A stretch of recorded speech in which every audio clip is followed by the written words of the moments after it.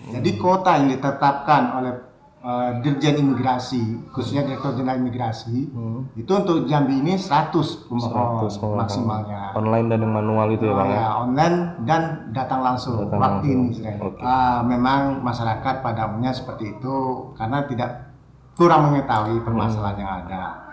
Ah, untuk itulah kita sudah ah, yang seperti saya katakan tadi ah, kita telah melaksanakan ah, pemberian antrian itu sejak dari pagi. Oke. Karena permohonan paspor di Jambi ini eh, eh, kita lihat juga banyak itu, ya itu tadi dan eh, biro jasa sini tidak apa bukan eh, bukannya apa bukannya calo biro jasa biro jasa itu seperti itu juga gitu. Oke.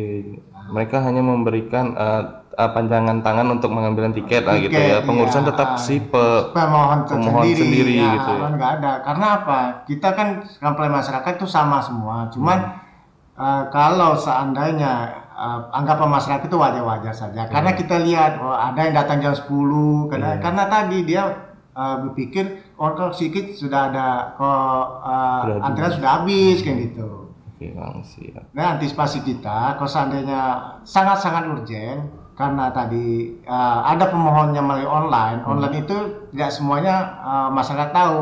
Tentu kota yang diberikan 50 tadi tidak terpenuhi. Tidak terpenuhi. Untuk itulah Beralih ke uh, online. beralih dari online tadi itu yang kita ambil uh, untuk pemohon yang sangat-sangat urgen.